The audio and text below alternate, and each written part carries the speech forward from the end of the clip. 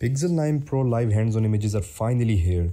From past few weeks, we have been seeing the renders and first looks of Pixel 9 Pro and other models, but today it's finally here, the live images of phone. As you can see, Pixel 9 Pro is placed on side by side with iPhone 15 Pro Max, but still Pixel 9 Pro looks smaller than the 15 Pro Max, even being the top variant in lineup. This is what I thought at first, but then I came to know that there will be Pixel 9 Pro XL as well, which will be the successor of Pixel 8 Pro. Talking about the design, we can see there are three rear camera sensors on Pixel 9 Pro while two camera sensors on vanilla Pixel 9 with a redesigned camera bump this time.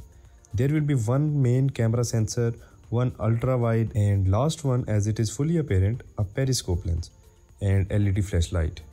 Pixel 9 Pro is having round corners but with flat sides just like the new iPhone's boxy design. It has huge camera bump if we look from sides and phone have type C charging port, main speakers and SIM card tray at the bottom. Talking about the front design of Pixel 9 Pro, it will be totally flat with the center punch hole camera on top. Display will be high resolution with 120Hz refresh rate. Pixel 9 Pro will be having latest Google's chip which is Tensor G4 and here are the full specs of it as you can see.